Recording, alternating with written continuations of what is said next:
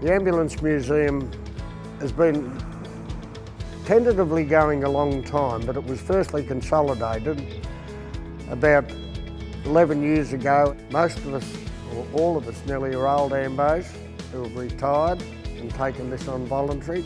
We've got a lot of equipment here to see, oxy gear, old stretchers, anything to do with early ambulance. And it's very interesting to see what it was like then and how much improved it is now. We've got 18 old ambulances here, all, uh, all running and registered. This car, 1912 it was made. I believe it was used in France in the First World War. And come Anzac Day every year, this is uh, a very big demand on it for um, Anzac marches. This particular ambulance here, the old Nash, it's a 1927 model, and I bought that in Dandenong some well, five or ten years ago.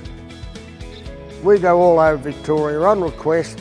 Um, people who've got shows or their usual yearly events, if they ring me and book, we'll take cars to them. We'd love to see more people here. A lot of people don't know about us.